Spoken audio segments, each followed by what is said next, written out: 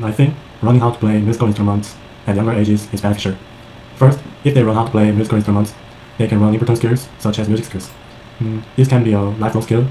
Mm, also, they can develop creative skills and get high test get high test scores at school. Second, mm, playing musical instruments. Mm. Oh, It's a good way. uh, playing musical instruments is a good way for children to relieve stress and relax.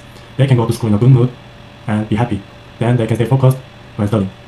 Lastly, if they run with their friends, mm, it is so much fun and exciting with friends. Mm, so they can share good times and make good memories together. Also, it's good for networking. For these reasons, I think learning how to play musical instruments at younger ages is beneficial.